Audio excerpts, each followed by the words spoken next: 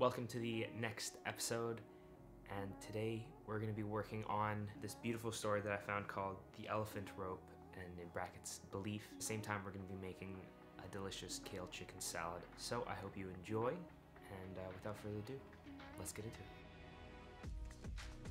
So the story is called Elephant Rope Belief. So let's go. Gentleman was walking through an elephant camp and spotted the elephants weren't being kept in cages or being held using chains. All that was holding them back from escaping the camp was a small piece of rope tied to one of their legs. As the man gazed upon the elephants, he was completely confused as to why the elephants didn't just use their strength to break the rope and escape the camp. They could have easily have done so, but instead, they didn't try to at all. Curious and wanting to know the answer, he asked the trainer nearby why the elephants were just standing there and never tried to escape. The trainer replied, When they were very young and much smaller, we used the same size rope to tie them, and at that age, it's enough to hold them. As they grew up, they are conditioned to believe they cannot break away. They believe the rope can still hold them, so they never try to break free. The only reason that the elephants were breaking free and escaping from the camp was over time they adopted the belief that it was just impossible. So, moral of the story, I think, in, in this one, no matter how much the world tries to hold you back, this is the moral that this, this story kind of, I think, summarizes from a bunch of things that I read. No matter how much the world tries to hold you back, always continue with the belief that you that what you want to achieve is possible.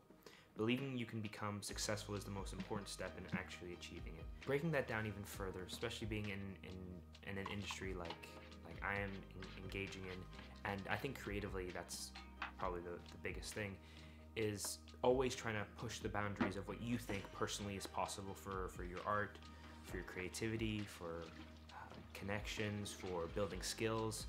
And a lot of time, and especially in the creative field, it's really difficult to consistently keep motivated because it's like walking through a dark forest for hours or days, weeks, years more often than not.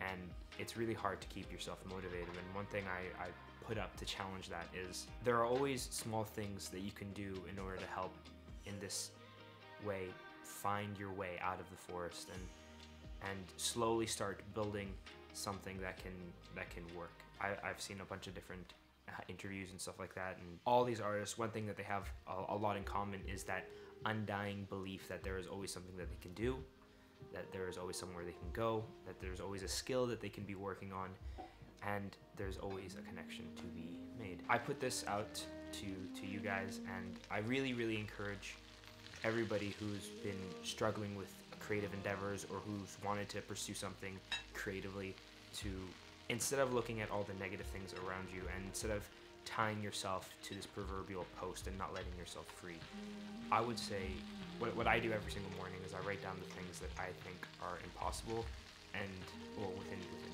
music obviously and try to find ways that i can accomplish it so i have my goals for music and to the outside eye, some things might seem impossible, but uh, if you break it down into small little steps, uh, actionable steps, you'd be surprised of what you're actually capable of. And I, I, I do believe in that. It's just gonna take uh, patience and time.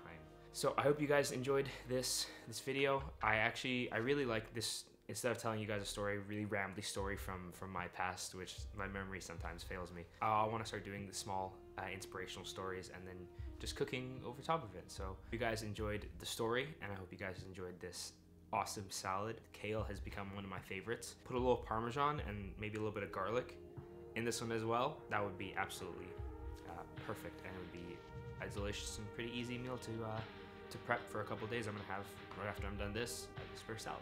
So if you guys enjoyed this, uh, consider subscribing and liking the video, and I will catch you in the next one. Peace.